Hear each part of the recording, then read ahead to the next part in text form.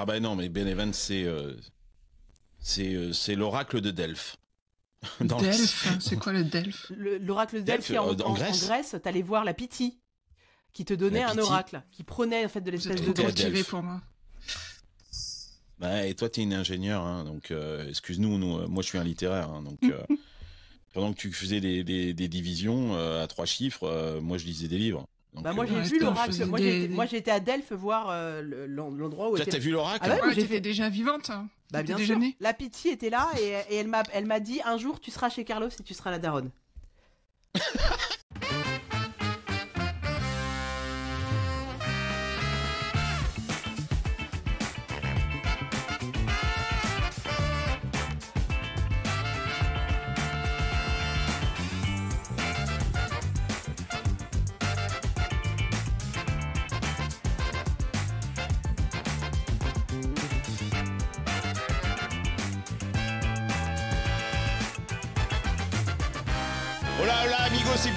Silicon Carnet, le podcast tech picante est maintenant disponible au format audio et vidéo. Ça se passe sur YouTube. Le channel s'appelle Silicon Carnet. Mon nom est Carlos Diaz, entrepreneur, investisseur et podcasteur. Et je vous propose chaque semaine de décoder avec mes invités les sujets caliente de la Silicon Valley.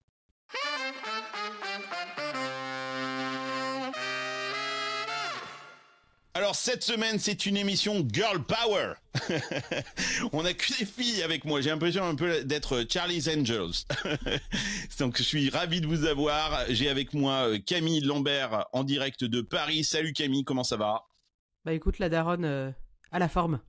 La daronne à la forme, elle a le sourire, c'est génial. La dernière fois tu avais le Covid, tu m'as l'air rétabli, ça nous fait plaisir de t'avoir à nouveau dans Silicon Carnet. En direct de New York, je vous demande d'accueillir sous vos applaudissements Eve Alimi. Salut Eve, elle a raison euh, de sourire parce que elle vient de finir sa levée de fonds et elle va nous, nous expliquer parce qu'elle a vécu une expérience assez intéressante. Et puis j'ai euh, Stéphanie Tramichek en direct de San Francisco. Donc voilà, Paris, New York, San Francisco, euh, on est là. Salut Stéphanie, ça va? Ça va, ça va, très bien. Bon, bah écoutez, super. Une petite excuse pour la semaine dernière, pas d'émission la semaine dernière, un petit problème technique, c'est absolument de ma faute. Euh, donc on a fait une petite euh, trêve la semaine dernière, on revient cette semaine, on est bel et bien là dans Silicon Carnet, on vous propose une émission qui est dense cette semaine, on va parler de plein plein de sujets. Eh bien, euh, forcément, hein, parce que comme c'est une girl power euh, émission, euh, on va parler des femmes dans la tech et euh, c'est Camille qui nous en parle et les chiffres sont assez dramatiques et j'ai l'impression qu'on fait pas beaucoup de progrès, Camille, sur ce sujet-là.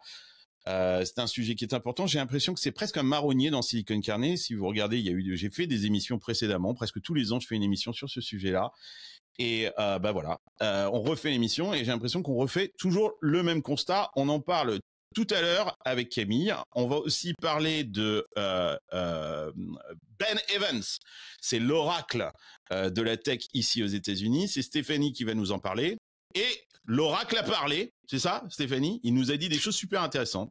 Ouais, Bénédicte n'a pas lancé sa sauce hollandaise ou bénédictine, mais a sorti ses vérités en fait sur AI pour la fin de l'année. Et c'est super intéressant, c'est 87 slides. Et donc en écoutant Silicon Carnet, bah, vous allez avoir le résumé, le condensé et même un peu plus euh, de ces 87 slides de Benedict Evans euh, qui sont super intéressants et qui nous parlent des AI. Effectivement, on va tout euh, comprendre sur qu'est-ce qui nous attend dans le domaine de l'AI. Eve va nous raconter sa levée de fonds. tu vas nous expliquer comment tu pensais lever de l'argent en Europe, puis finalement tu t'es dit je vais le faire aux US et finalement tu te retrouves avec des Japonais à ton board. c'est super intéressant et euh, tu vas nous expliquer cette expérience, n'est-ce pas? Exactement. Et plus de femmes que j'anticipais et plus de femmes que tu n'anticipais. Tiens, ben voilà, ça fera le lien avec le premier sujet Exactement. des places de des femmes dans la tech. Et moi, si on a le temps, parce que l'émission est dense, j'aimerais bien vous parler de l'annonce de Google autour de Gemini qui m'a complètement bluffé. Euh, là, c'est clair que la course euh, a vraiment débuté et c'est très intéressant. Donc, euh, on va parler de Gemini dans cette émission et je sais que c'est un sujet qui a beaucoup animé les conversations dans la CNDA notamment. Donc, je vais essayer de faire une petite synthèse sur où est-ce qu'on en est avec ce Gemini de Google. Allez, l'émission commence, c'est tout de suite.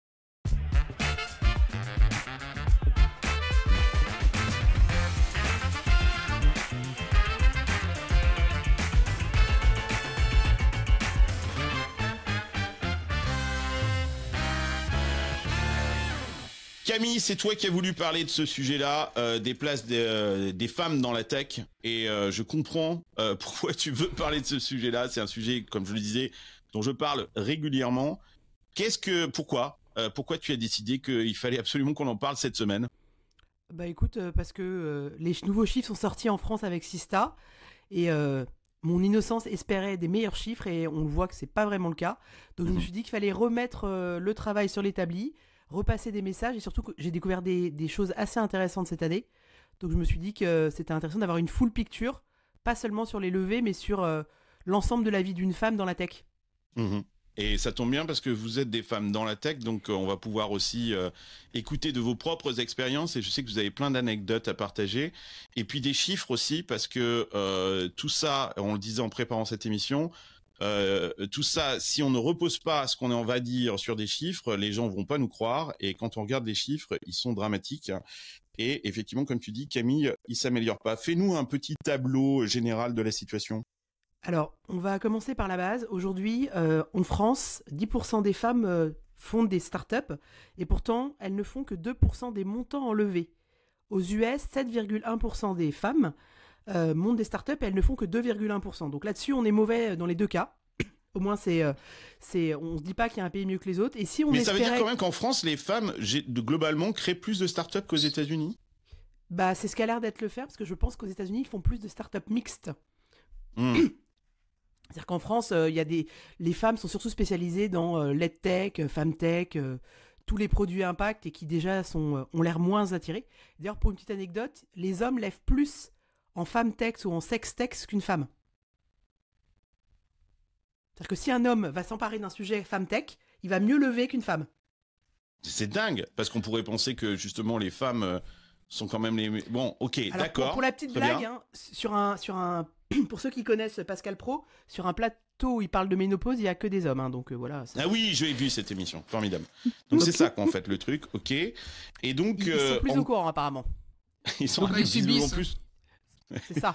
Et ça les L'andropause existe. Hein. Euh, je parle pas euh, par expérience, quoique je, je, m'en approche, mais ça existe aussi chez les hommes, hein, cette histoire-là, qu'en fait. C'est différent. C'est différent. C'est différent.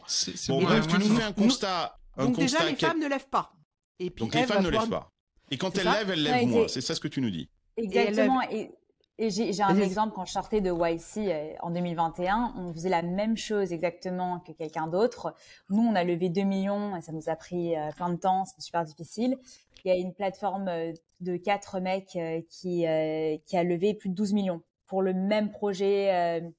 On avait à peu près les mêmes profils, c'était juste des hommes et nous on était des femmes différence de x6 et aujourd'hui ils sont toujours là? Non. Par contre, ils sont toujours là. Euh, je, voudrais donner les chiffres de, euh, de, de Sista dont tu parlais, euh, Camille, et je les montre ici à l'écran. donc, les femmes sont sous-représentées dans la tech, hein, c'est ce que tu nous disais. 10% du nombre total de startups créées sont portées par des femmes. Euh, les plus grosses levées de fonds. Alors ça, c'est quand même formidable. Quand on prend en France, hein, ça c'est des chiffres en France, hein, Camille De 2023, tout à fait, Sista. Voilà, donc euh, combien euh, de d'équipes 100% féminines ont levé plus de 50 millions d'euros? Deux. Et combien d'équipes masculines ont levé plus de 50 millions d'euros? 215. Enfin, c'est juste hallucinant. Euh, et donc, euh, et il y a d'autres chiffres là qui sont assez intéressants à regarder. Euh, les équipes 100% féminines lèvent quatre fois moins que les équipes 100% masculines en moyenne. Toi, tu nous disais, Eve, c'était six fois moins sur ton exemple à toi. Euh, et, et visiblement, et ça, j'aimerais bien avoir votre réaction là-dessus. Quand les équipes sont mixtes, ok, il y a moins d'inégalités. Alors, qu'est-ce que ça veut dire? Ça veut dire que une femme, il lui faut absolument un homme à côté bah euh, pour que euh, elle soit crédible. Bah, je, sais que ça va vous faire bondir, hein, ce que je suis en train de dire là. Je vais partager une ah. anecdote de quelqu'un de la Sienda qui m'a expliqué que dans son club de BA, quand une euh, femme levait, on se posait plus la question si la femme savait, avait des bons advisors, c'était hyper important, alors que quand c'est un homme, on s'en fout. Parce qu'on imagine qu'on ne sait pas compter, en fait. Je pense, hein, c'est l'histoire. Hmm. Or, d'ailleurs, petite blague pour en rajouter une couche, quand tu demandes à une femme quel est son cash burn, elle est capable de dire 12 500 euros. Quand tu demandes à un mec, il dit environ 500 000. Je pense que tu demandes à Eve son cash burn, elle sait, elle sait à 1000K ou à, 1000 euros, à 1000 dollars où elle en est. Je pense que tu demandes au mec dans tes. Dans tes, dans tes non, moi je sais, moi. Je sais aussi à 1000 dollars près. Donc faisons pas de, de, généralité, mais euh, c'est intéressant, Eve, parce que vous, dans votre cas, vous étiez justement une équipe 100% féminine. Les deux cofondatrices de, de Alinea, euh, vous êtes deux filles. Euh, donc vous étiez dans cette catégorie où vous n'aviez pas de chaperon masculin. Est-ce qu'il t'est arrivé à un moment, Eve, de te poser la question d'additionner un cofondeur masculin parce que tu t'es dit ça serait plus facile? Qui est marrant de ce que tu, dis aujourd'hui, c'est que dans cette dernière levée de fonds, on a ramené notre CTO dans plein des derniers pitchs.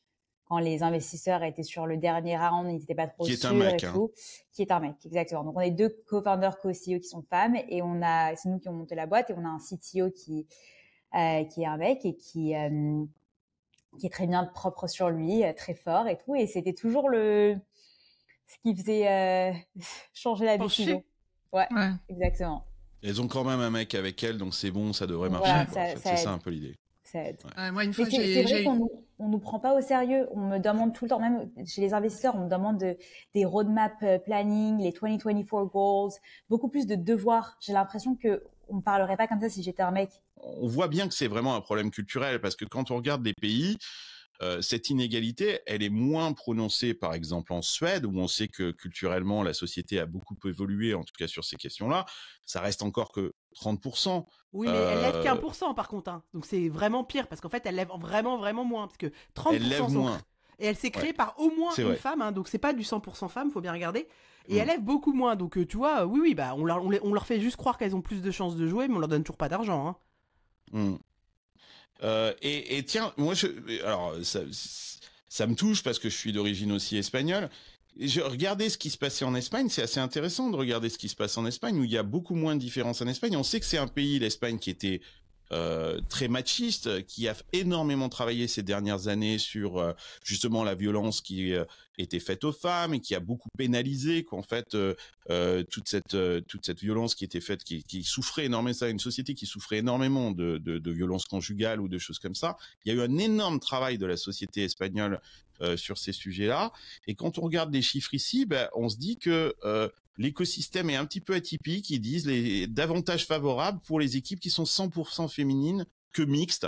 C'est quand même une anomalie. Euh, est-ce que c'est juste une anomalie ou non? Ça veut dire que quand on travaille profondément sur la société et sur changer la culture de la société, euh, c'est pas simplement une question de, voilà, ça, a des impacts assez rapidement parce que ce travail de fond de la société espagnole, il a débuté il n'y a pas non plus énormément de temps hein, et on voit déjà là. Euh, mais il faut réfléchir, si tu as plus de, de rôle modèle féminin, si tu as moins de violence euh, au sein des couples et de féminicide, bah magiquement les gens vont plus oser euh, avoir de l'ambition, montrer leur ambition, mm. entreprendre. Et en fait, c'est globalement le problème quand on dit les femmes de la tech, et on verra, c'est aussi les femmes qui travaillent dans la tech, euh, c'est les femmes aussi dans le, dans le 440, c'est que globalement c'est un problème. Toi. Je, vais, je vais te faire une petite blague, mais pour moi, toi, on dit toujours le girl power, mais pourquoi on l'appelle pas le woman power? C'est bête, mais on n'est plus des enfants les femmes qui le vont. On est des femmes.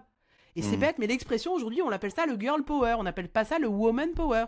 C'est ce que j'ai dit là moi-même. Hein. j'ai eu ce billet là. Vous avez vu, hein, j'ai parlé de girl power parce que c'est le terme qui est utilisé quoi en fait. Et souvent on nous présente, on dit deux filles vont lever, mais pourquoi on dit pas deux femmes vont lever? Hmm. On nous infantilise rien que dans la dans la formule. Hmm. Super C'est un anglicisme, Franck. Ça, c'est en France. Aux États-Unis, on dit ladies, on dit woman, on dit pas girl. Justement, on te reprend quand on dit girl. Soit tu viens de France, tu dis girl et non. non, ouais.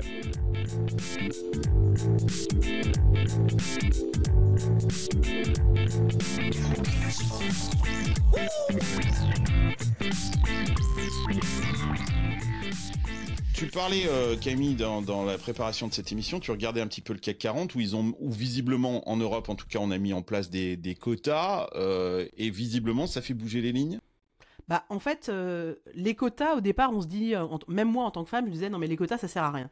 Sauf que quand tu es obligé d'avoir 40% de femmes dans ton COMEX, bah, tu es obligé au bout d'un moment de promouvoir les femmes pour euh, avoir un vivier où choisir. Et donc, mmh. au départ, bah, les premières femmes, malheureusement, c'est vrai qu'elles sont choisies parce que c'est une femme.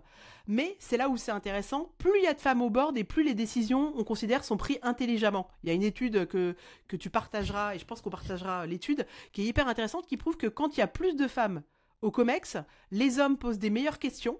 Les gens arrivent, les femmes arrivent en plus, pré plus Les hommes sont moins cons quand il y a plus de femmes. Bah oui, parce que les femmes, elles ont pas peur de dire je ne sais pas. Moi, je sais pas, je pense qu'on peut tout témoigner. Moi, je dois le dire à peu près une fois par jour, je ne sais pas, une question qu'on me pose. Je sais, je sais pas si c'est votre cas, Eve et Stéphanie. Oui, mais de toute façon, c'est être professionnel, c'est si tu sais pas répondre, t'inventes pas une réponse, quoi. C'est ça. Alors qu'il y a beaucoup d'hommes qui vont dire, euh, qui vont inventer un truc, et au mieux, ils vont dire, je vais aller vérifier. Hmm. Mais moi, ce qui me choque dans ce que vous dites là, en tant que mec, hein, je suis désolé, je suis le seul représentant, c'est un peu la réflexion que fait Stéphanie, c'est que pour moi, de dire je ne sais pas, c'est juste une réaction professionnelle. Je vois pas en quoi c'est plus féminin de dire je ne sais pas, euh, plus masculin. Il y a plein de mecs qui n'osent pas le dire. C'est ça. Il y a plein de mecs, euh, ils sont un statut qui veut, ils sont plutôt dans la vente, ils sont plutôt dans la vision, ils sont pas dans le pragmatisme, alors que les femmes, on est dans le pragmatisme, dans la réalité. Et donc du hmm. coup, euh, se dire non, je ne sais pas, c'est un peu avouer, être un peu moins bon, et moins briller, euh, c'est une question d'ego, quoi. Hmm. Alors, quand je regardais ton étude, Camille, justement sur euh, le CAC 40 et, cette mise en place de, ces quotas dans le CAC 40 qui, qui vraiment fait bouger les lignes, on voit qu'effectivement, il y a plus de femmes dans les COMEX. Euh, je me posais immédiatement la question, alors c'est peut-être une question de mec, mais ok, super, on a mis plus de femmes, mais euh, du coup, est-ce que ça a changé quelque chose à la performance? Donc j'ai fait un peu de recherche, et en fait, je me rends compte que oui, c'est intéressant, les femmes osent, ont de l'ambition, elles ont des business plans qui sont super solides, et quand on regarde les chiffres, la rentabilité opérationnelle euh, d'une équipe de femmes est de 8%, contre 5,7% pour les entreprises dirigées par des hommes. Donc, en fait, il y a aussi euh, y a une, vraie incidence en fait sur la, sur la performance. Euh, tout à fait. Et j'ai aussi, je t'enverrai le ce que tu vas pouvoir montrer, c'est dans les des, compagnies du S&P 500. Donc toi, c'est américain.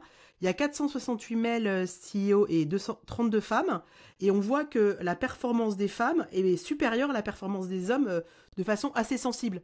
Et toi, là, on commence quand même. Le problème, c'est que on a toujours très peu de femmes CEO, donc on te dit toujours non, mais c'est biaisé parce que les 32 femmes, on n'a pris que les meilleures. Mais bon, on, remarque quand même que à chaque fois, ça surperforme les hommes. Et, enfin, il y a une étude qui est aussi hyper intéressante qui dit que quand une société va faire faillite, on met généralement une femme parce qu'on sait que soit elle va la sauver, soit elle va se planter.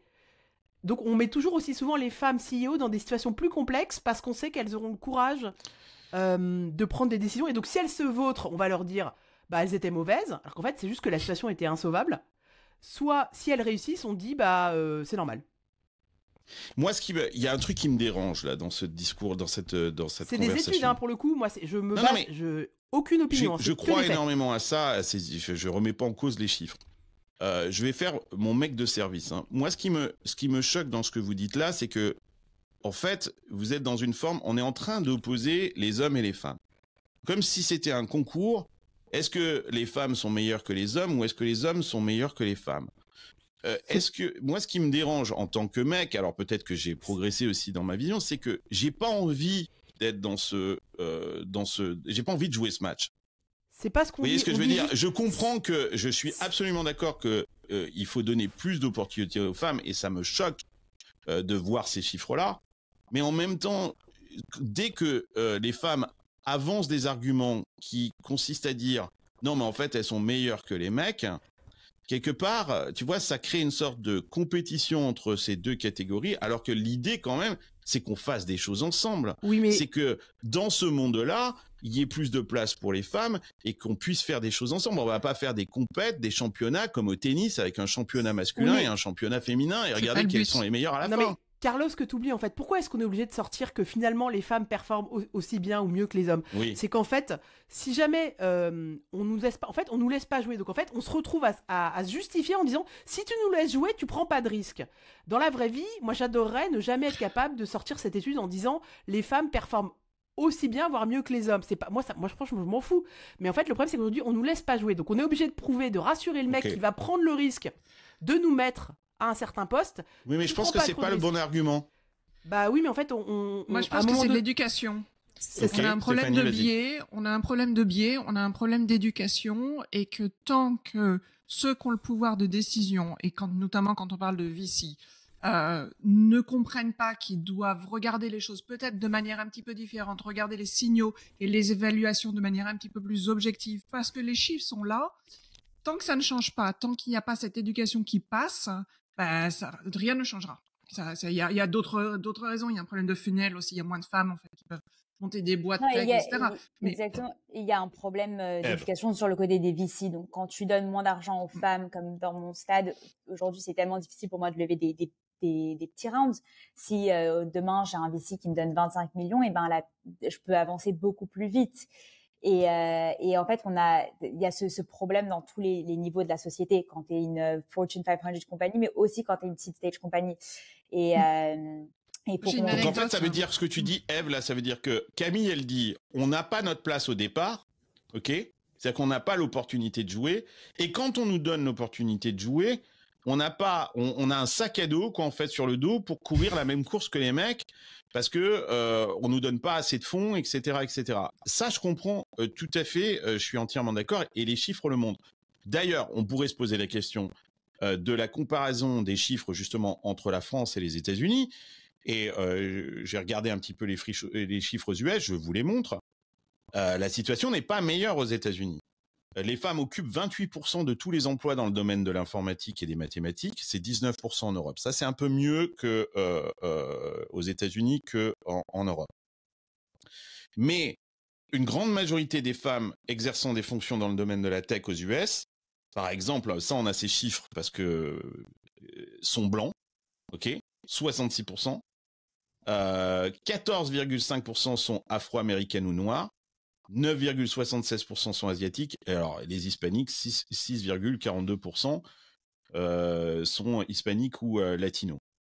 Et alors, le chiffre qui m'a fait euh, vraiment bondir, alors là, je me suis dit, effectivement, on est dans une société d'une injustice absolument incroyable, c'est qu'il y a eu beaucoup de licenciements dans la technologie en 2022. Et ben, ces licenciements ont touché à 69% des femmes. En plus, ça C'est-à-dire qu'on a hein. viré les femmes. Quoi, quand il s'agit de virer, qu'en fait, non seulement on les fait pas venir, et quand on les fait venir, les premières à partir, c'est des femmes. 69% des licenciements dans la tech, c'était des femmes. Et c'était pas les plus chers, à mon avis, en plus, hein. Donc c'est même pas vraiment très rationnel.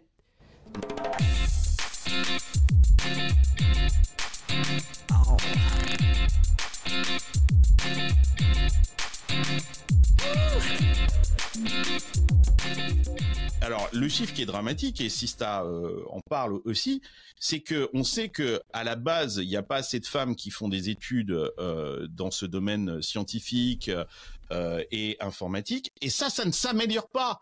C'est-à-dire que je pensais que moi c'est là moi ma plus grosse déception elle est là, c'est que je pensais que là par contre sur la, partie d'éducation on verrait on, verrait arriver plus de femmes dans, dans, dans ces filières. C'est pas le cas. Mais ces chiffres s'améliorent pas non plus. Mais c'est logique, Carlos. Tu vois, aujourd'hui, quand tu demandes à n'importe qui de donner un rôle modèle féminin, même moi, je galère. J'ai Christine Lagarde, ça reste petit, tu vois. C'est compliqué quand même. Hein. J'ai que quand on me demande de donner un rôle modèle, j'en ai 10 en homme. En femme, à chaque fois, je suis en grosse galère. Donc, genre, à chaque fois, j'y réfléchis. Je pense que tu poses la même question. Même toi, donne-moi un rôle modèle féminin, euh, Carlos. Cite-moi une ah, femme. Ah, si, moi j'en ai. Bah, vas-y. Ah bah, euh, je, je, euh, tu, tu, veux dire sur la tech ou euh, de façon générale? Là, je te demande, donne-moi deux rôles, deux rôles. Ah bah moi, vous m'en avez amené un la dernière fois qu'on a fait une émission dans Silicon Carnier, c'est Kardashian. Moi, je la connaissais pas. Et moi, je suis devenu depuis qu'on a fait cette émission et que et que vous m'avez expliqué qu'en fait c'était une vraie, elle était, c'était autre chose qu'une fille bimbo. Je me suis intéressé à sa à sa carrière et c'est vrai que c'est super impressionnant ce qu'elle fait qu'en fait. Euh, je sais pas, Michelle Obama pour moi c'est un rôle modèle aussi qu'en fait. Il n'y a, pas de femme en tech que tu tu. Sheryl Sandberg, mais elle est pas, elle est pas techno. Non, mais elle me fait pas, elle, me fait pas kiffer, Sheryl Sandberg. Elle est plus dans la picture, tu vois, elle est plus trop. Ouais. Aujourd'hui, t'as pas une T'as pas une femme dans la tech où tu te dis tiens moi je me lève je me lèverai j'ai envie de devenir elle t'as pas un Elon Musk féminin c'est ça tu vois même même quand j'étais à l'université c'était euh, t'avais Bumble qui explosait t'avais Whitney Wolf euh, qui était sur les magazines de Forbes etc aujourd'hui Whitney Wolf elle est où? Elle est, elle a resign de son poste de CEO elle a eu des enfants elle est plus euh, elle a plus le, le, même statut et donc elle est elle est plus présente. Euh, et donc t'as un vrai manque de woman de girl power dans les woman power dans le dans la tech Elizabeth Holmes? Non, je déconne. le dire. non, mais euh, non. Euh, alors, il y a un truc absolument fou. Euh, c'est Camille qui qui m'a montré ça. Alors là, là, je suis tombé de ma chaise. Hein. c'est que quand une société est dirigée par une femme, les hommes sont moins enclins à travailler plus. Tout à fait. oui, oui. C'est-à-dire que si toi tu leur demandes à tes, à tes, employés de faire des heures supplémentaires, ils vont pas négocier. À une femme, ils vont dire mais est-ce que tu es vraiment sûr que c'est la chose à faire? J'ai pas envie. Et ils s'en vont. Ils rentrent chez eux. Ils rentrent chez eux. Ça, c'est dingue. Donc, ça prouve quand même qu'il y a quand même ce côté animal qui quand même repose beaucoup sur une sorte de... Le management repose quand même aussi sur une forme de crainte. Il y a une sorte de, de, combat entre euh, machin. Et ça voudrait dire que bah, quand c'est une femme qui est dirigeante, euh, euh, c'est bon, j'ai l'ascendant sur elle, elle veut que je bosse plus, qu'elle aille se faire voir. L'étude ne dit pas ça. L'étude dit que euh, les femmes se font beaucoup plus challenger quand elles demandent de faire des choses aux équipes, alors qu'un homme, tu le challenges pas autant. Donc en fait, les gens négocient. Et donc du coup, s'ils considèrent que ce que leur a demandé la femme, euh, pour eux n'a pas de valeur, ils vont refuser de le faire. Alors que toi, je suis sûr que moi j'ai déjà plein de mecs qui m'ont demandé de faire des trucs où je pensais que c'était la plus grande connerie de la Terre. C'était mon boss, je lui dis c'est la plus grande connerie de la Terre, mais je le fais. Hmm. J'obéis. Alors hmm. que l'homme va dire. plus challenger quand t'es une femme.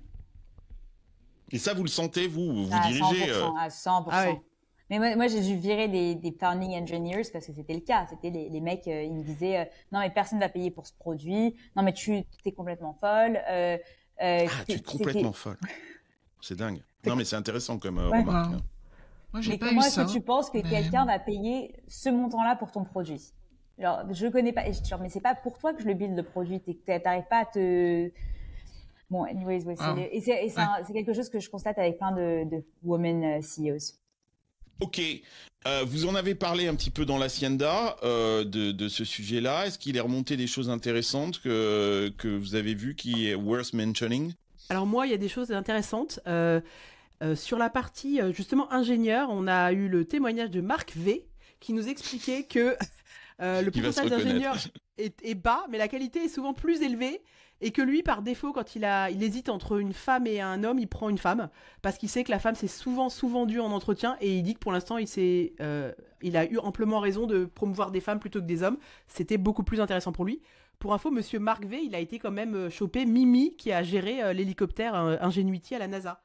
Donc il a du flair, euh, Marc V. Donc euh, moi je pense que ça vaut quelque chose qu'il nous raconte.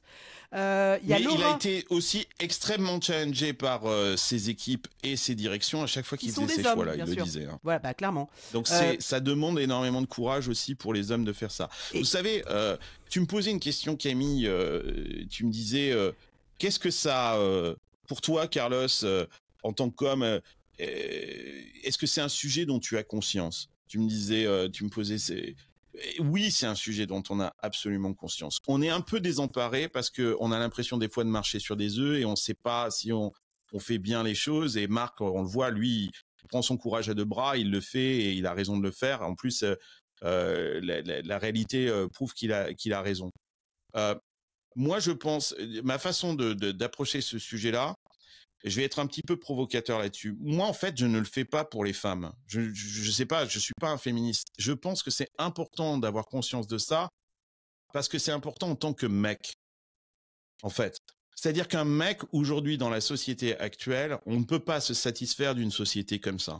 Donc en fait, tu vois, il faut aussi qu'on arrête de vouloir euh, que de, dire ben moi je fais ça pour les femmes. Non, on fait ça pour les hommes en fait aussi autant que pour les femmes parce que euh, être un mec aujourd'hui, qu'en fait, ça veut dire aussi que on puisse se regarder dans la glace. Et moi, je, je pense qu'on n'est pas un mec tant qu'on a, si on accepte en fait cet état de fait. Donc, il faut pas simplement. Je pense que que es une exception. C'est ça, clairement. En tout cas, aux US, sur les VC, t'es VC, hein, Carlos. Euh, euh, je peux te dire que dans les discussions 30% de notre portefeuille et des, sont, sont portés par des, des femmes oui, c'est peut-être une expression. Une exception. Eve en est un exemple. On a investi dans Eve, mais elle le sait, Eve, elle le voit, le groupe de WhatsApp. 30% hmm. euh, de nos, de, de, de nos startups euh, sont portés par des femmes. Mais c'est sur des sujets. De le dire, en fait, que, que tu es un allié. En fait, on ne demande pas de dire, parce que féministe, hmm. c'est un mot malheureusement qui est très connoté négativement. Moi, je dis toujours, euh, moi, quand je fais ça à la fin, c'est pour que tout le monde gagne plus d'argent, tu vois. Et donc, je dis, moi, souvent, quand j'ai des potes ou quand je fais des conférences, j'ai souvent un allié homme. Ça m'est arrivé plein de fois d'amener une étude, on me dit que l'étude n'existe pas, l'homme reprend mon étude trois minutes après, et donc tu as deux façons de le faire. Soit l'homme reprend l'étude et dit cette étude, soit il dit comme Camille vient juste d'expliquer, cette étude prouve que. Alors là, tout d'un coup, mon étude existe. Parce que l'homme. C'est dingue. Une petite anecdote qui est hyper marrant, qui est de Laura B. pour certains qui la connaîtront, Laura Bokowska. Euh, elle dit que euh, quand elle fait bosser aux femmes leur pitch, elle leur demande un pitch dix fois plus précis que les pitchs des mecs, surtout avec des chiffres qu'elle doit super bien maîtriser, parce qu'elle a remarqué que les questions chiffres sont plus pointilleuses pour les femmes que pour les hommes, comme si on les soupçonnait de ne pas savoir compter juste. Mhm. Et peut-être que Eve peut nous confirmer qu'elle aussi a vécu ça. Absolument, et c'était beaucoup plus de devoirs. C'était euh, envoie-moi un rapport euh, extensive de ta balance sheet, de ton PNL, de ton machin, de ton truc. Alors qu'on est une seed stage compagnie, normalement il n'y a pas un due diligence qui est très compliqué. Euh... Moi on me demande jamais ça, hein. je te le, je te, ah je te, non, je te le dis, on me demande jamais euh, ce genre de chiffres. En fait, j'ai eu, j'ai eu la chance de lever ce round avec des autres amis à moi de YC des femmes et des hommes qui ont, ont comparé les, les enfin, on, échangeait euh, les, les, expériences qu'on avait vues avec les, des investisseurs et quand on était des femmes, on, se faisait demander notre roadmap, nos balance sheets, nos PNL, euh, tous les, les, chiffres de nos MAU, DAU, euh, tous les KPIs, mais en vrai détail. Et c'était énormément de travail. Alors que pas du et, le et le problème, c'est que tu peux pas push back. Le problème, c'est que tu sais que c'est biaisé, tu sais que c'est pas normal. Si tu leur dis c'est pas normal, vous demandez ça, tu réagis contre quelque chose, eux ils voient pas en fait que c'est pas normal puisqu'ils pensent qu'ils font ça de manière honnête et qu'ils le font avec tous. En fait, le problème pour moi à la base, c'est le chez le VC, c'est le manque de training sur le bias. Dans toutes les startups euh, américaines, tu as du training hein, sur de, la formation sur identifier quand tu es biaisé. Ce biais, hein, bias en anglais, c'est le biais. Euh, cognitif, euh, c'est-à-dire que tu, tu vois la, femme et l'homme, tu vas demander à une femme plus de documents que tu vas demander à un homme, tu vas espérer qu'un homme est visionnaire, la femme ne l'est pas assez, elle est, elle est pragmatique, mais elle n'est pas visionnaire, donc du coup c'est pas bon. Et, et en fait, on est dans une société où on commence à entraîner tout le monde, à former tout le monde. Les VC, zéro. J'ai parlé à des head of people qui s'occupent de ce qui devraient s'occuper de ça. J'ai dit, est-ce que les VC sont formés? C'était un énorme VC. Non. Elle venait d'une autre boîte VC. Non. Ils n'ont jamais de formation. Ils ne se rendent pas compte qu'ils sont biaisés. Ça ne les intéresse pas. Je ne sais pas pourquoi, parce que les chiffres montrent que ça devrait les intéresser. Et donc le problème, c'est que toi, tu le vois, ce biais. Moi, j'ai ma tendance, ma réaction initiale a été de dire, mais le mec, je vais rentrer dedans, quoi. Quand j'identifie un biais, je rentre dedans. Et je me suis aperçu que ça servait à rien parce qu'il allait pas comprendre pourquoi je suis rentrée dedans. Si je lui expliquais, il n'allait pas, il n'a pas été éduqué pour ça. Donc en fait, tu es obligé de trouver après de soit tu, tu subis, bah, t'envoies tous tes documents, soit tu emmènes un mec, soit tu trouves un cofondateur, soit tu es obligé de bypasser, d'adapter ton discours, de trouver des solutions. Donc t'imagines l'énergie que ça te prend par rapport à un mec qui est là à vendre sa vision et on s'en fout s'il va, va, développer son produit, on lui donne l'argent parce qu'on a confiance. Et toi, tu arrives avec tes doutes parce que tu es trop pointilleuse sur ton, ton, projet concrètement de comment tu vas le lancer et comment tu vas ramener tout de suite de l'argent et que ça va marcher, mais c'est pas visionnaire, donc c'est pas bien. Et ça, c'est un biais. Et les biais, ils savent pas les reconnaître, donc ça sert à rien de pushback. Je vous propose de, de regarder un extrait de cette vidéo absolument géniale. Euh, c'est une vidéo de Sista, ça d'ailleurs, ou c'est qui qui a fait ça? C'est Sista, tout à fait, qui a fait ça. Euh, génial, Sista. Euh, si vous nous écoutez, on vous embrasse. Euh, c'est super ce que vous faites. Regardez cette vidéo de Sista, ça dure juste une minute. Écoutez-la si vous êtes en audio. on a posé les mêmes questions à des mecs qu'on pose aux femmes et leur réaction est à mourir de rire. Et on va passer maintenant au vrai sujet. C'est quoi votre morning routine? Alors je me lève, je prends ma douche, euh, J'essaie de me laver. Je regarde mon téléphone. Je le journal. Je vais prendre un café. J'ai un, produit génial, c'est Augustinois Bader, une petite crème, c'est un truc de fou. Est-ce que vous avez une adresse beauté à Paris? Bah non.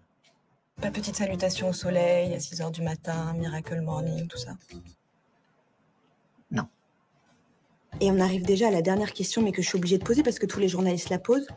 Euh, est-ce qu'en tant que féministe, on vous reproche d'être trop agressif est-ce qu'en tant que féministe, on reproche d'être trop agressif On vous la pose tout le temps, cette question. Oui, oui, oui. On reproche de ne pas être assez féministe, assez constamment féministe. Et on n'est jamais assez féministe. Je, ne pense pas, je pense que ça fait partie de la personnalité. Je sais pas quoi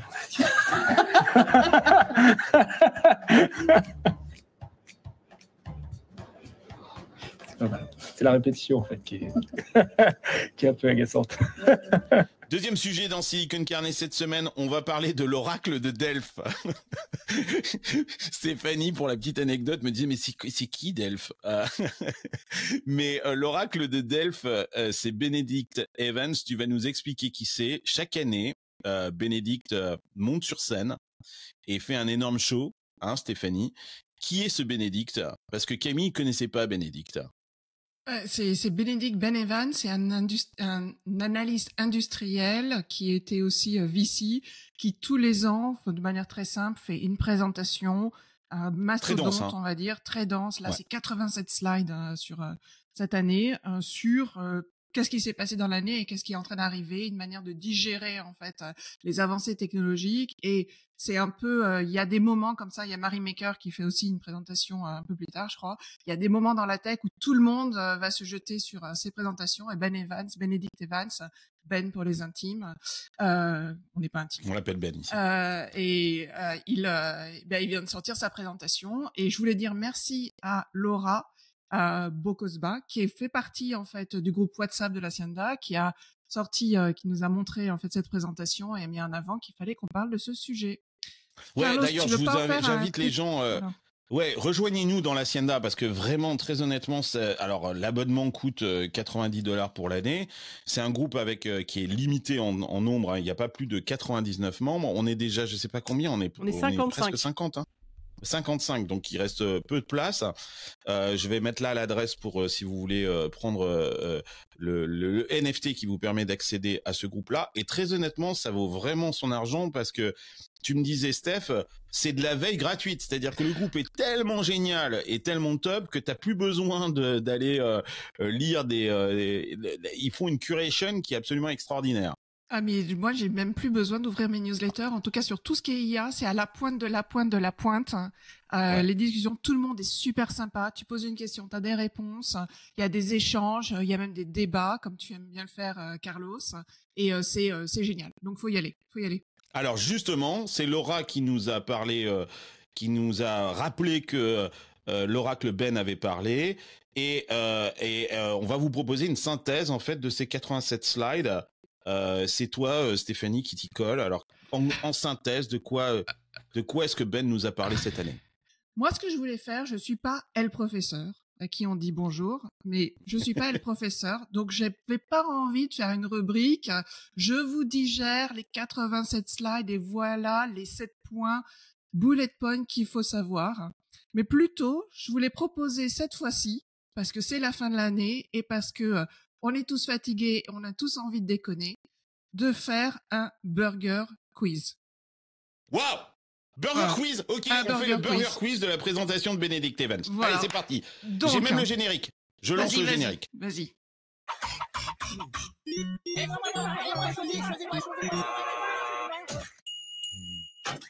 Alors, euh, Eve, elle connaissait pas le burger quiz. Hein. je vous le dis. Bah non, on est trop vieux. Donc, euh, elle est, elle est complètement new-yorkaise. Elle nous a regardé avec des, euh, des, des, des, des, yeux euh, plein de, plein de. Je vais repasser la séquence là. D'ailleurs, regardez, regardez les yeux de Eve quand on parle du Burger Quiz. Elle connaît pas. Bon, Burger Quiz, c'est un truc génial. il faut que tu ailles regarder, Eve. C'est présenté un par Alain Pour les vieux aussi, attends. C'est parce qu'elle est oh, jeune, c'est pas parce qu'elle est à New York, c'est parce qu'on est vieux, c'est tout. Faut l'avouer. Ça s'est arrêté en 2020. Mais tu n'es pas né en 2020. Je veux bien que tu sois jeune, mais quand même. T'as pas trois ans. Même les, les, épisodes des TV series qui s'arrêtent euh, il y a quelques années. Oui, en plus c'était des rediffs. Hein, ensuite, euh, depuis depuis bah depuis 2013, c'est des rediffs. Bon, ok, allez, Stéphanie, Burger Quiz, vas-y, première question. Allez, premier thème. Allez, je ne sais pas du tout les questions que tu vas nous poser. Hein. Bah oui, vous n'avez pas travaillé. Hein. Non, premier on pas thème. Premier thème proposé par Evan, Evans, notre ami. Euh, Evans nous explique qu'il ne faut pas confondre LLM et AGI. Il pose aussi la question de savoir si l'AGI, donc l'intelligence généralisée, est atteignable actuellement ou pas. D'accord? C'est le thème. Question numéro 1. Selon non, vous. réponse numéro 1. Non. Question numéro 1. Selon vous, ChatGPT pourrait-il un jour détrôner Carlos en tant que roi de la paella? Il faut répondre là. Il faut répondre. Est-ce que ChatGPT peut, euh, peut faire une meilleure paye avec moi? C'est ça ce que tu es en train de nous poser comme question ouais. Hmm. En Non. sachant Moi, je qu'on parle Non. de LLM et des GI. Non, non, Non, parce non, que non. il a pas mis Non. sa recette sur internet, euh, Carlos, donc en fait, ChatGPT, vu qu'il ne fait que copier, il pourra pas y arriver. Hein. Exactement. Bonne non, réponse. bien sûr, était la bonne réponse. ChatGPT ne fait que régurgiter des choses qu'il a vues, qu'il a appris, Mais ça veut dire des que patterns probabilistiques. Il est incapable de cuisiner, ça on le sait, ou même de comprendre ce qu'est une paella. Ah, d'accord. Et donc ça veut dire que oui, mais qu'est- qu'est-ce qui se passe si je mets ma recette de la paella Oui, mais après, il faut comprenne dataset. chacun des ingrédients ce que c'est. Euh, et puis, à mon avis, t'as un Il secret pas ingr- évoluer. Mais puis t'as un secret ingrédient que tu vas pas mettre, forcément. Comme tout, tout, toute personne Ouais. qui possède la paella Tout le parfaitement. monde. On est peinard. Voilà. Donc Mais c'est surtout, en fait, c'est surtout des patterns, des, des, des modèles statistiques probabilistiques qui sont utilisés dans les LLM, contrairement à de l'AGI, ce que, ce que- ce qu'explique Ben Evans, dans les GI, c'est vraiment une compréhension de ce qui se passe. Il explique en fait Et ça, on n'y est pas encore. reconnaît un chat, pas parce que c'est un chat, parce qu'on a ingesté des millions de photos de chats et que probabilistiquement, la photo que tu me montres, probabilistiquement ressemble à un chat. Et d'ailleurs, qu'est-ce que c'est qu'un chat? Le, le LLM ne sait pas ce que c'est. Les GI sauraient ce que c'est qu'un chat. et fun, fa- fun fact, pendant des années, on nous a demandé de reconnaître des chats en captcha. En fait, c'est grâce à nous qu'aujourd'hui, on sait reconnaître un chat dans ChatGPT. Parce que pendant Eh oui. des années, on a été choisir le chat ou euh, la voiture ou le, le passage piéton Mm. chez, chez notre ami Google. Et donc, Google pourrait nous payer hein, là-dessus parce qu'on a bossé à sa place. Ouais. Deuxième question, Stéphanie. Allez, deuxième question. Vrai on est toujours ou sur ce L- LLM et Ouais, GI. hein. toujours. Vrai ou faux? Le jour où ChatGPT saura composer un rap avec Snoop Dogg, on pourra dire qu'on a atteint les GI. Faux. Vrai Alors, pourquoi faux Pourquoi vrai? Faux. Eve, dis réponds. Vrai. Alors c'est faux. Bah oui, parce qu'il a Faire déjà un rap ne nécessite pas d'intelligence artificielle généralisée. Même Snoop n'en a pas. Et, surtout que pour info, y Snoop Dogg a déjà son avatar ChatGPT. J'ai une boîte française qui est en train de la faire. Et ils sont en difficulté parce que euh, ChatGPT, de temps en temps, échappe à l'esprit de Snoop Dogg. Et donc, ils sont obligés de rabaisser l'intelligence de ChatGPT. ChatGPT Oh. est trop intelligent. Oui, c'est ça. S'appelle Par rapport à Snoop Dogg. Vous êtes chier avec Snoop Dogg parce que je pense que Snoop Dogg c'est quand même un mec, euh, un mec qui est smart. Hein. Oui, Euh, euh, bon, c'est c'est ChatGPT qui m'a sorti cette. euh, alors, euh, full disclosure, j'ai utilisé ChatGPT pour préparer le Burger Quiz. Ah, D'accord, ok. Euh, bon, allez, voilà. troisième question. Et auto-tué Toujours sur. LLM Troisième question. On est Imaginez nul, hein, que se rattrape ChatGPT participe à Silicon Carnet. D'accord? Pensez-vous que Carlos arriverait à le faire craquer avant la fin de l'émission? Non. Non, impossible. Oui, parce qu'il est feignant. Craquer, ça veut dire il est quoi feignant, il est feignant. Il va, il va pas vouloir réfléchir. En ce moment, il est feignant. Oui, sûrement était la réponse. Putain. Bravo Camille. ChatGPT ne ressent rien. Il finirait par sortir des réponses complètement farfelues. Donc c'est les hallucinations en fait qu'on connaît et qui sont euh, très connues et dont Ben, Ben Evans parle. Il répondrait aux questions farfelues, de manière farfelue aux questions délirantes de Carlos. On est encore loin de l'AGI, comme l'explique Ben Evans. Donc en gros, en synthèse, ça c'était le premier thème. Ce que tu nous expliques, et on est nul à chier. euh, Excusez-moi, je suis la seule Eve, non-tech, hein, euh, soi-disant. Grande vraiment, gagnante, là, c'est Camille. hein. Là, c'est Camille qui a gagné. hein, Premièrement, je t'ai gagné, Camille. Ok, très bien. Mais en gros, ce que tu nous expliques, c'est que euh, c'est super les LLM, ça permet plein de trucs, mais on est encore très très loin des GI. Et c'est ce que Ouais. Ben Evans Et c'est euh, nous explique dit. dans C'est sa un des présentation. gros takeaways en fait de sa présentation. On est loin de l'AGI. Et le truc qu'il, le point en fait euh, que vous regarderez qu'il expliquera mieux que moi, c'est que euh, l'AGI, on ne sait pas en fait ce que ça veut dire être atteindre l'AGI. Quand on envoie en fait une navette euh, spatiale dans la Lune, Ah oui, on sait où est la Lune, ça. on sait la distance. L'AGI, on ne sait pas ce qu'on doit atteindre, donc on n'est pas capable de créer des benchmarks pour savoir si on a atteint ou pas l'AGI. Hyper intéressante cette présentation. Et il y avait Allez, deuxième thème. Deuxième thème. Il y avait une autre image qui était euh, intéressante, c'est que l'AGI, en fait, c'est comme si nous quatre, il faudrait arriver à nos quatre intelligences pour aller à la GI. Donc en fait, c'est difficile, nous, on va pas Ouais. reconnaître qu'on a les quatre intelligences en une personne, en fait. Parce que la GI, c'est au-dessus de tous les êtres humains. Donc c'est-à-dire qu'en fait, euh, mon Ouais, esprit... c'est une chose, euh, c'est, ce serait une intelligence Ouais. omnisciente qui surpasserait la somme de toutes les intelligences humaines. Donc c'est bien la question, c'est pas d'être euh, intelligent euh, comme un être humain particulier sur un modèle particulier, c'est la multiplication de nos intelligences. Enfin, c'est même pas la somme, c'est la multiplication.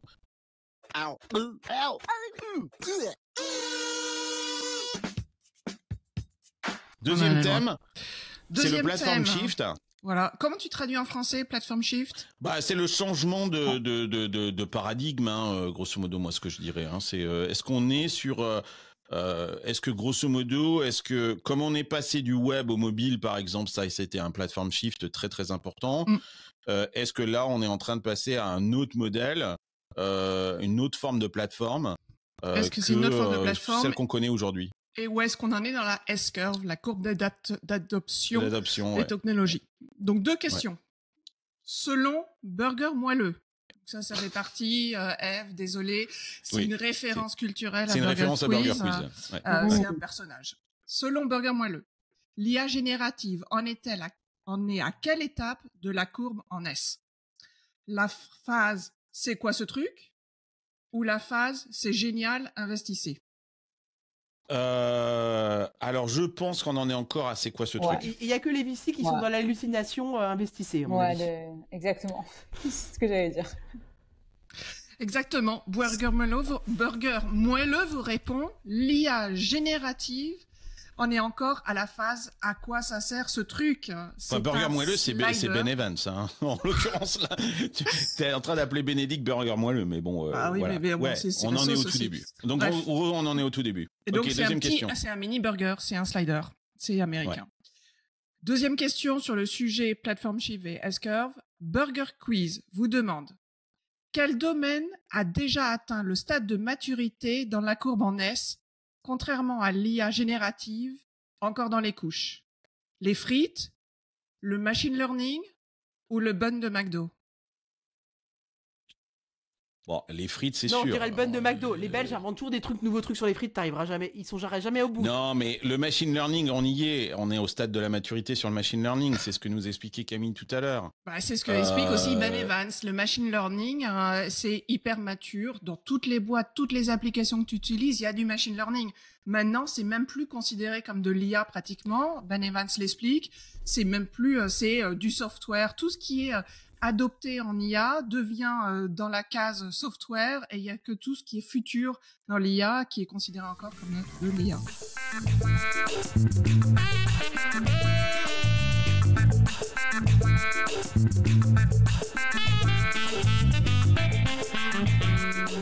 Bon, les filles, on avance, on avance, les filles. Non, mais c'est ça le problème avec les filles. Vous Allez, faites, Carlos c'est, on fait quitter on n'avance pas, là. On 10 n'avance pas. là, Allez, 10 allez, minutes. allez, Allez. speed, speed. Allez, on avance. Eve, euh, tu voulais nous raconter ton expérience de fundraising. Euh, allez, tu as cinq minutes pour nous expliquer euh, ce qui s'est passé. C'était assez drôle. Non, mais il y a plein de choses à apprendre à travers cette expérience-là qui disent beaucoup de choses à la fois sur la place des femmes dans la Ouais. tech, mais aussi une évolution du monde du VC en ce moment. Je te laisse la parole. Eve, explique-nous. Donc, tu viens de lever avec ta nouvelle startup un, un, un, un tour de seed. Tu avais fait un tour de, de pré-seed avant. Euh, tu viens de boucler un peu plus de 3 millions euh, en seed. Euh, et tu me disais, j'ai été faire un tour un peu en Europe. Et alors là, j'ai vu des choses assez in- intéressantes. Je suis revenu aux US. Et puis finalement, j'ai levé au Japon. Alors vas-y, explique-nous. Alors j'ai commencé avec les Européens et j'ai trouvé que un, ils nous donnaient des faux espoirs, deux, euh, ils cassaient des ce qu'on appelle un handshake, donc quand tu euh, signes un contrat avec quelqu'un pour dire que tu vas investir, et ben ils cassaient ce ce, ce, ce Attends, attends, tu veux dire que tu avais des term sheets et qui, Qui sont- où tu avais des, des commits et des commits- verbal Des commitments verbal commitments qui ont été cassés. Donc il y avait un énorme manque de respect envers les fondateurs. C'était juste mon expérience à moi, mais euh, j'ai pas du tout aimé mon expérience avec les, les Français. Euh, Eve, ce la, proche- tour-là, donc la prochaine fois, viens Non. me voir. Moi, je te garantirai des gens qui. Je pourrais t'aider font si tu pas veux. Ils sont pas tous comme ça, mais c'est juste mon expérience. Donc après, je suis partie chez les fonds en ASF. Je suis partie faire un voyage à ASF où je suis partie boire à Carlos. Et On s'est euh, vu, ouais. On s'est vu. On s'est vu. Et euh, je suis ressortie avec, voilà, je vous ai ramené aujourd'hui deux, deux Love Stones et Love Rocks. Explique-nous ça, c'est formidable ça. Alors je suis partie pour magique. lever un million et je suis sortie avec ça du meeting. Euh, Elle est partie lever 2 millions, on lui a donné deux cailloux. Mais tu sais quoi? Chacun de ces cailloux vaut 1 million. Euh, Eve, tu ne le sais pas encore. Non, mais ça m'a des apporté beaucoup magiques. de chance, les cailloux, parce que ça m'a donné beaucoup de confiance. Je crois que je suis arrivée au max de ma patience. J'ai pété un câble et tout le monde a commencé à me prendre au sérieux. Non mais explique-nous cette expérience, c'est formidable. Qu'est-ce qui s'est passé? Donc, euh, j'avais des commitments à droite, à gauche, des verbal commitments, mais dans, comparé à 2021, quand tu lèves aujourd'hui, il y en a plein qui vont faire des verbal commitments, mais qui vont pas signer des safes ou ils vont pas wire l'argent en 2023. Donc, euh, je suis partie les voir à SF, les, fonds. Et il y a une femme qui m'a dit, je te mets X dans ton, ton round, on est super intéressés, mais avant que je te donne de l'argent, je veux te voir euh, physiquement, je veux te voir in person. Donc, j'ai pris mes billets, j'ai ramené mon équipe, on est parti à SF. Et, euh, et deux jours avant que j'arrive à SF, elle me dit, ah, by the way, je ne serai pas là. C'est dingue. What? C'est- Vous pouvez pas dire que c'est un mec, hein, C'est là, hein, c'est Non, une non, femme non, hein, là, en c'est- l'occurrence. c'est- hein. Donc vous femme. voyez, donc là, là, ne mettez pas ça sur le. Je vous vois déjà arriver, quoi, en fait. Non, non, c'était c'était une Ah. femme. en C'était une femme et euh, Ah. bon donc j'ai euh, j'arrive euh, chez dans leur bureau et On va euh, pas je donner leur me- nom, je parce que c'est un fond qui a quand même pignon sur rue. quoi. je me retrouve dans une salle un peu bizarre, euh, le, le mood un peu bizarre où ils sont là genre mais qu'est-ce que vous faites ici Euh, Bon, Personne t'attendait. hein. personne n'attendait Donc, hein, vraiment euh, et je ressors du meeting avec ces deux pierres. Ok. Il y a peut-être une clé Ledger dans la... cachée dans la pierre, je sais pas j'espère pour toi. hein. Expérience lunaire. Euh, je Non mais reviens- attends, mais, non, mais explique-nous, quand ils te donnent ces deux pierres, ils te disent quoi Ils me disent que c'est très dur d'être une founder et donc quand je me sens lonely, faut que je les Tiennent dans la main? Prenne dans la main et que je pense à tous les autres founders qui sont en train de struggle with me today. Non mais c'est dingue. Oh C'est dingue. C'est dingue. C'est dingue. Bienvenue dans la Silicon Valley, Eve. Ben, Donc San alors au final, qu'est-ce que t'as fait Très en fait Ouais, ouais, très woke. Ouais. Que des malades mentaux. Donc, mais bon, c'est un bon signe, un bon espoir. On t'a donné le Love Rock, ça veut dire qu'on va travailler avec toi. Donc si t'avais pas donné Putain, de Love Rock, toujours pas eu. On t'a donné le Love Rock. On t'a donné le Love Rock. Non mais n'importe quoi. Dans, le chat, tu nous mettras le nom, s'il te plaît. c'est sûr. Bon, en gros, je, je pète un câble, je rentre sur New York, je Tu leur envoie un, email très agressif en mode. Et après, c'est des euh, attends, venez, on fait des zooms, attends, venez, on fait des product démos, attends, je veux rencontrer sept autres personnes de ton équipe. Le process qui s'arrête jamais. Je leur ai dit, c'est très simple. Vous avez euh, cinq heures pour me répondre euh, avant la fin de la journée si vous êtes in ou out. Moi, j'ai plein d'autres gens qui veulent investir, donc c'est soit vous me répondez dans les prochaines heures, sinon vous êtes out. Et euh, Nice. nice. That's Merde. Eve I like. Nice. That's Et- Eve I like. Et that worked, that worked. 20 minutes plus tard, le, sa- le safe était signé. Euh, Nice. No way. Bravo. ouais. Dingue. Donc, Bravo, euh, donc voilà, donc expérience, faut juste envoyer des Mais emails. tu me disais qu'en fait, t'avais avais levé finalement aussi au Japon. Et voilà, donc on a levé la plupart de l'argent avec des Japanese LPs et des Japanese funds. Je suis très contente parce que ça veut dire que je vais pouvoir aller à Tokyo euh, une fois par an parce que dans À tes souhaits, Camille. À tes souhaits. Tu fais comme tu veux dans cette émission. Après Et, le euh, Covid, euh, la grippe. Et Donc, tu as levé avec des Japanese. Et Comment est-ce que tu es rentré en contact avec des Japanese funds C'est eux qui sont venus vers toi ou comment ça s'est passé? Parce que moi, je ne saurais même pas comment on fait ça. Bah, figure-toi que la plupart des fonds à SF, là, aujourd'hui, avec qui on a parlé, et ben, leurs LPs ou les LPs qu'ils vont chercher sont au Japon. Donc, quand on est levé avec euh, XYZ comme fonds, ils nous mettaient en contact avec des fonds japonais. Et c'est comme ça qu'on a un peu, on est un peu rentré dans le monde euh, du VC japonais. Et, euh, et en fait, les Japonais, ils demandent beaucoup plus d'informations et ils sont pas du tout dans la FOMO. Mais ils vont être très loyal avec leurs words. Donc, quand ils ont dit, euh, donnez-nous deux semaines, enfin, deux semaines pour avoir le investment committee, le investment committee, tu as 80% de chances de passer euh, au investment committee. Et après, tu auras un- un- une semaine de legal due diligence, etc. Mais tu as notre word que C'est super cadré. Non, mais le japonais, c'est- c'est c'est le prussien de, de l'Asie. Hein, et ça, quand j'étais en folie après mon meeting de Love Rock, je leur ai envoyé un email en mode euh, j'ai essayé de faire le hype. euh, Il y a plus, j'ai une counter offer pour euh, un million. Est-ce que vous êtes in ou out? Ça n'a le, pas marché. le japonais m'a répondu directement en disant N'essaye pas cette technique avec moi, ça ne va jamais marcher et ne, ferai- ne fais plus jamais ça de ta vie. Euh, moi, je ne travaille pas avec le hype, j'en ai rien à foutre qui est dans ton round. Euh, Super je- intéressant. euh, J'investis. je, je, ne- je, je, ne- oui, je ne suis pas sensible au FOMO, quoi. Exactement. Donc, et je t'ai prévenu que mon investment committee, elle est la semaine prochaine. Si tu ne peux pas attendre jusqu'à la semaine prochaine, eh ben, on sera, on n'investissera pas. Mais si tu attends, tu as des fortes chances qu'on investisse. Donc voilà, Et t'as attendu. L'expérience avec et tu les, les as funds. Exactement. Bravo, Nice. félicitations. Ouais, bravo, bravo.